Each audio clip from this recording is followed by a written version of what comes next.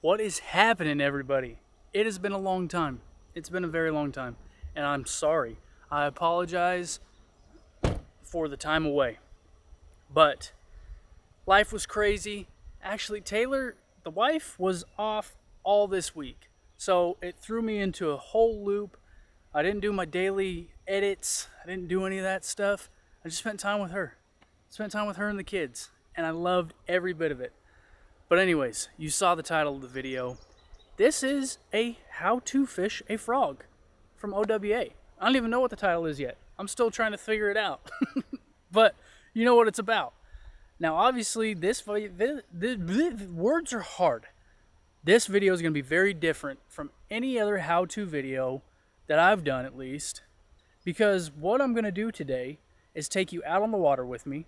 I'm going to walk you through how I fish the frogs, the practices that I use, and actually, you know, have some proof behind them. Fish were caught today. Fish were caught. Stay tuned. You're going to love it. I'll see you guys in a minute. Good morning, everybody. Oh yeah, I mean, I guess I already did that. I mean, I already did my intro, you know, because I shot the intro at the end of this, much later in the day. So right now I have no idea how it went, and I have no idea what I said in the future. So but like I covered in the intro, I'm doing a bit of a how to frogfish, how I like to frogfish today. So we're going to cover some things, and as you can see, I'm wearing my PFD so I don't get roasted. Like I said, I've been trying to get better about this, so I'm trying to get better. I'm getting better. I'm wearing my PFD today. I'm the first one on the lake. Someone else is pulling up now. So let's get out there and let's start fishing. Not even how to frog fish. I don't even know what I'm going to call this video yet. Guess how I frog fish. How old OWA frog fishes. How to fish the scum frog frogs. I don't know. What I got today, first off, this is not a confidence color. I'm going with a different color this morning just to kind of fish around a little bit. And I do plan on switching over to some confidence colors. But we're going to put on a few different frogs today. We're going to throw on the, uh, the launch frog from Scumfrog. I'm going to throw on the trophy series as well. I've had a lot of success with the launch and the trophy. And then I'll throw on a popping frog too. Because that uh, those popping frogs are definitely what got me a start with frog fishing. So with the scum frogs, okay, launch frog in particular here, what I like to do is give it a hard twitch. Sometimes two. One, two, something like that. When you do two like that, it will dive and it will come back up and it acts and it looks very much like a frog swimming. I don't know if you've seen frogs swim and how they dive under and come back up. It looks very much like that. Now you get a little bit of slack in your line, small twitches, you can walk the launch frog. Okay, you can walk it. However, walking a frog is not it's not in my wheelhouse. It's not something that i prefer to do. I like more of a pop. I like to i guess you know a little slower approach. But i do like to pop them i like to give them a couple you know hard twitches. You're going to want a heavy rod.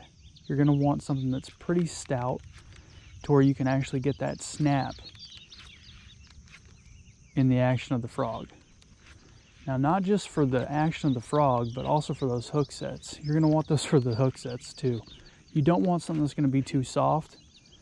You're going to want something that is going to be able to handle the hard hook set and to put those big hooks, those big frog hooks, in that fish's mouth. Okay? You're going to want something that is going to be able to handle all that.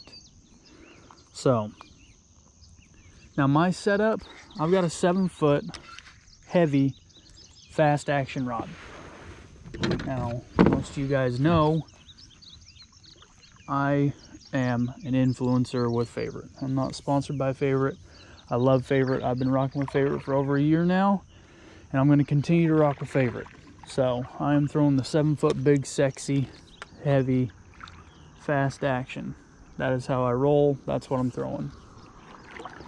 I have the extra heavy fast. I've thrown always heavy and fast when it comes to frogs. That's what I've always done. So,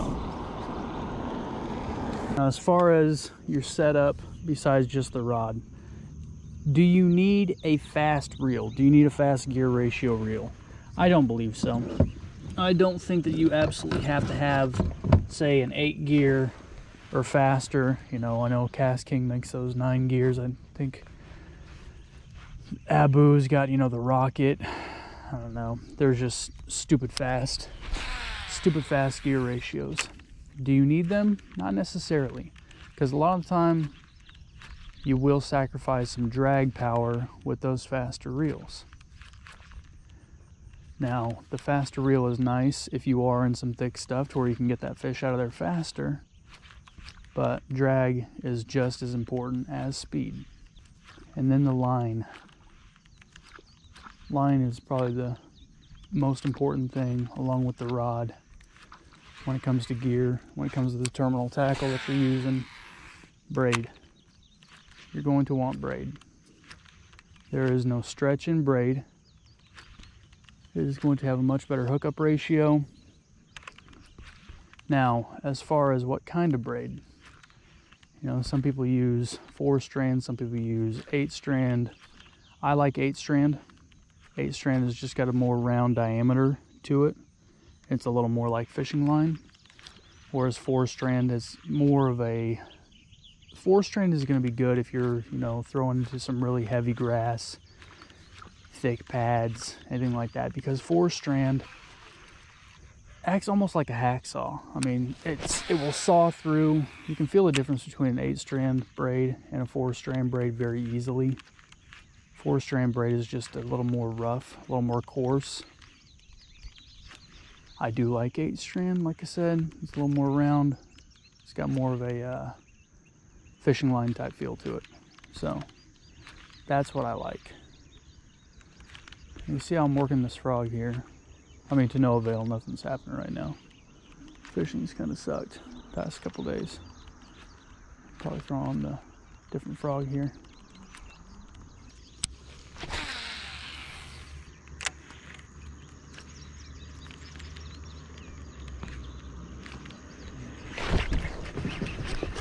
Get him, we got him. Look at that. So this is where it's nice to have that faster reel because I did not get a very good hook into him. I thought we got it. He's feisty. Right in front of some people pulling up. I'll take that. I'll take that.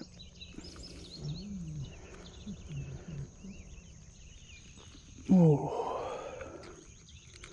Buddy, how'd you get these hooks? Apparently I got a better hook into them than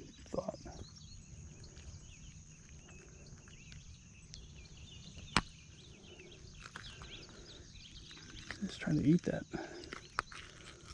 Literally tried to eat that frog. Okay. There we go. Threw up in the grass.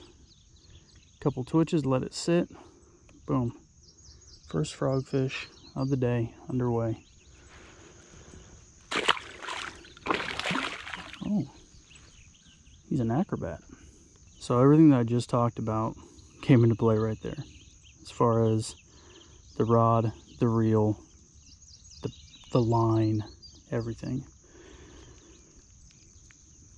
It was an awkward hook set. I didn't even get to really lay into them as much as I would have liked. That's where your braid is going to come into play because you're not going to have any kind of stretch on the braid. A heavier rod that can handle that hook set. Fast tip, snaps back faster, helps to drive those hooks in. Braid, rip them right out of there. And then this is, I mean, it's a favorite Soleus XCS. It's an 8 gear ratio reel. So it was fast. It's got great drag to it but I'm telling you, I don't. You don't necessarily need to get the fastest reel. Um, you know, my my new PB, my 911, came on an SLX DC, which has got 11 pounds of drag and it was a seven gear ratio. But it was on this rod with that line. same style of frog, just different color. So, anyways, enough talking. Let's get back to fishing. So I guess kind of going back to the action of the frog, it does matter. One thing that I like to do when I'm fishing is for the first, when I'm throwing a frog at least, when I'm throwing a frog, for the first half hour to an hour, I will try and work one type of cadence, you know. And when I say one type of cadence, I mean, you know, the couple of twitches, the one to two, two or three, something like that. Short, subtle, let it sit. I mean, subtle in a sense, you know what I'm saying. But let it sit, hit it again. Let it sit, hit it again. If that does not produce anything for me, then I'm going to move to a more erratic action. Okay? It's very similar to, sorry, I know I'm bending all over the place here. It's very similar to something that I like to do, you know, when I'm fishing with John or fishing with Chris. And it is, let's do contra contrasting fishing styles. Someone's working top water, someone works deep, you know. Someone works, you know, something fast, someone goes with something more finesse. And let's figure out what is going to produce the bite. So I'm going to work a frog like this, let the ripples kind of dissipate, hit it again.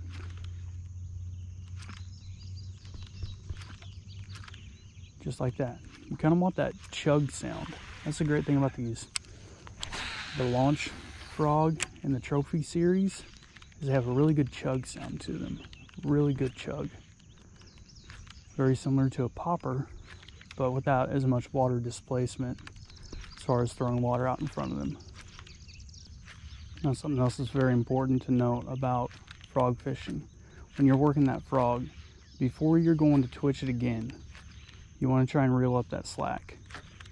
So creep your reel and try and tighten that slack up because the fastest way to lose a frogfish is to have slack in your line and not reel up that slack when they hit. Another way that you can easily lose a fish on a frog is to hook set too quick. You want to wait like a half second, almost a full second sometimes. You don't want to set immediately. Okay, they need to get that frog in their mouth and they need to close down on it. Now, I know some guys that will wait until they feel pressure. And I've done that plenty of times, especially night fishing, night fishing with frogs. I'll wait until I feel the pressure of that fish pulling and then I'll set. That can be pretty nerve wracking for some people because you worry that that fish is going to spit that frog. All the time they're coming up, taking it, and swimming down. We feel that pressure on your line, slam it home. You've got to hook set hard.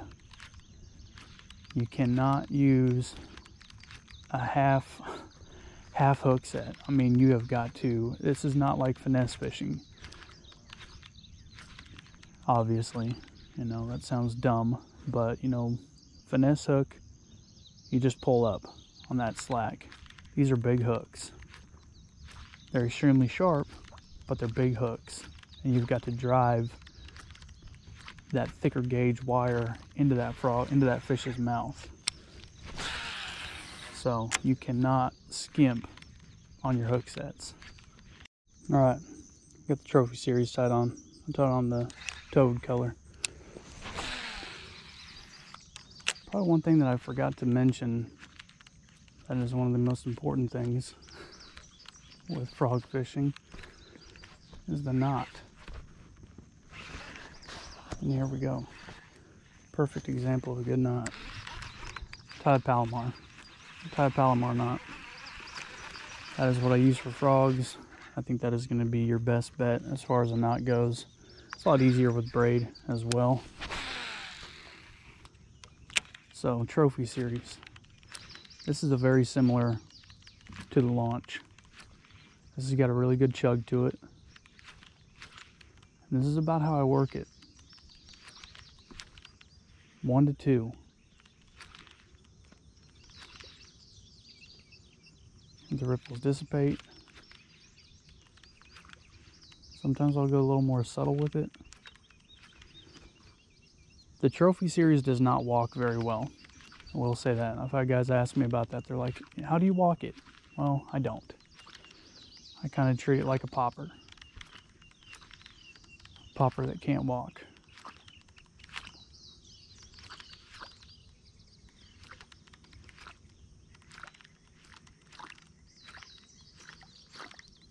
See, it kind of dives and swims forward like this.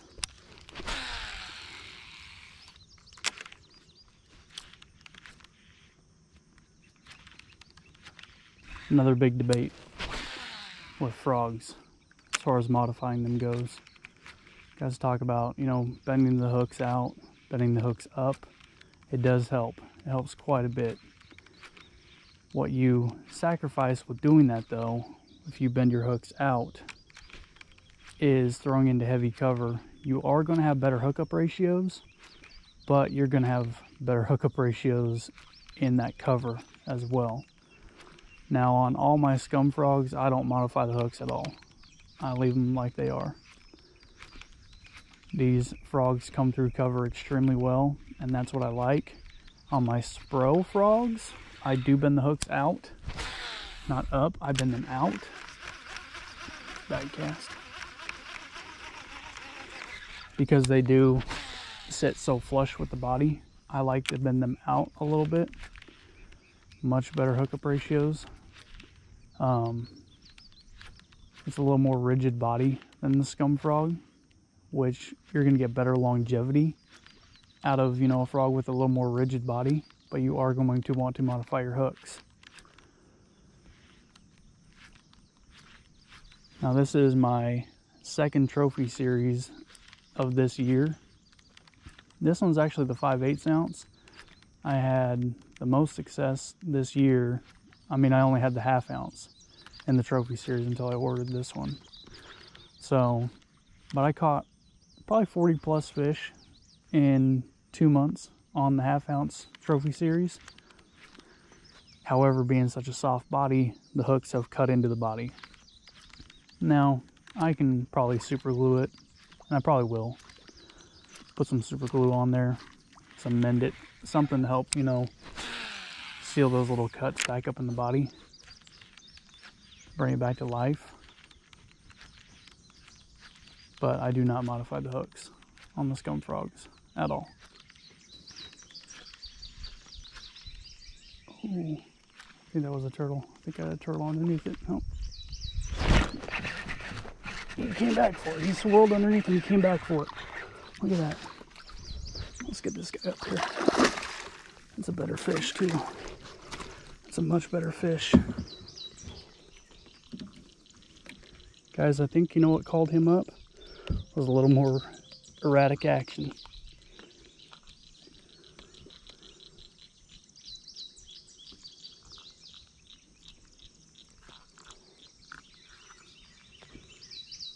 It was not a turtle. it was not a turtle. Hmm. It goes 16 and a half. Not bad. Not bad at all. Probably two pounder. Hey, sorry about your sore on your lip there. Good fish. Thank you, buddy. Thank you very much.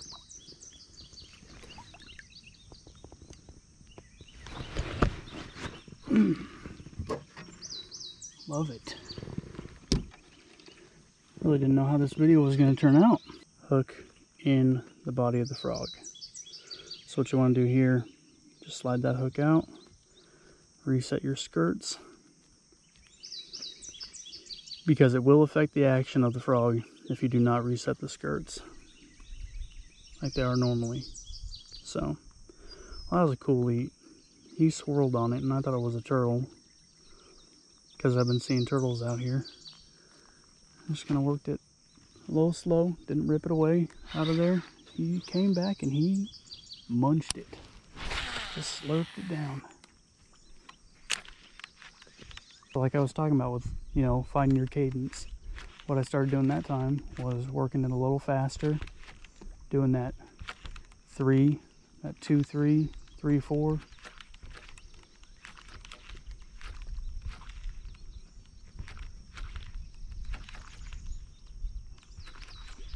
Like that right there. And just let it sit.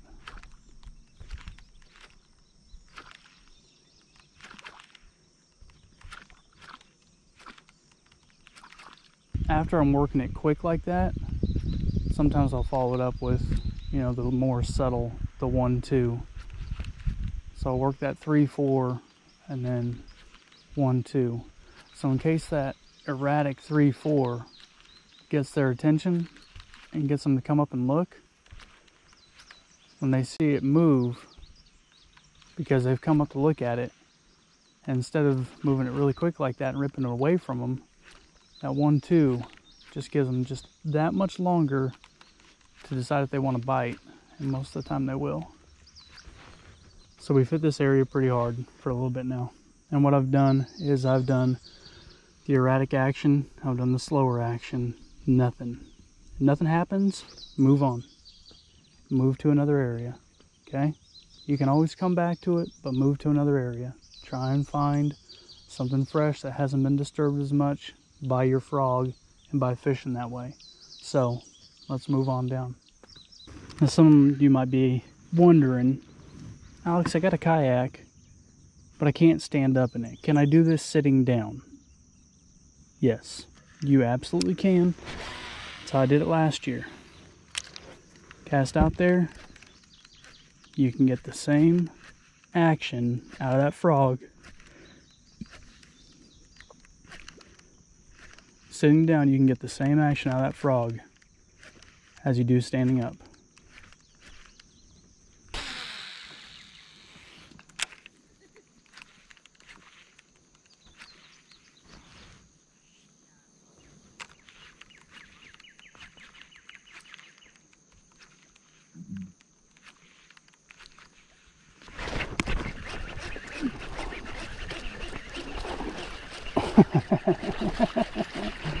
Get up here. Get up here. You ain't gonna shake that. You're a good fish too. You're another good fish. Mm-hmm. Oh yeah. Oh, you're bigger. You're bigger. Let's get this out of you. Thank you. Oh yeah. We're gonna we're gonna measure you. 18.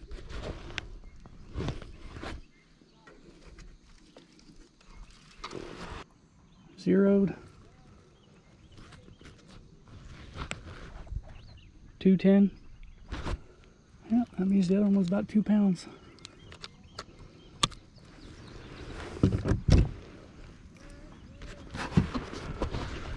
Heck yeah. Thank you, buddy.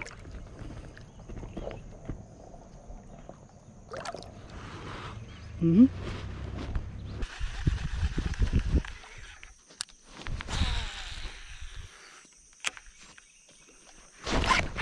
Oh my, oh my, oh my. Get out of there, get out of there, get out of there, get out of there. Oh, heavy drag, fast reel. Get out of there, get out of there. Hang on now. Hang on, you. No, you do it. Get up here. Whoo! Look at that. Look at that.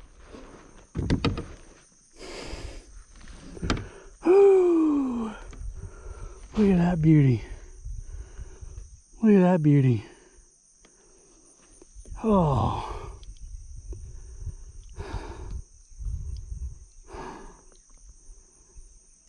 Oh, yeah. That was a freaking rush. I don't think you're as big as the last one. You're probably closer to the second one. But let's check you out. Go 17 and a half. Mm-hmm.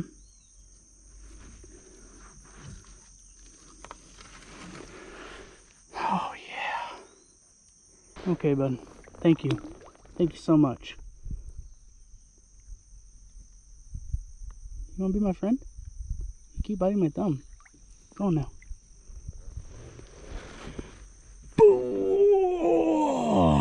In the thick, thick. Whew.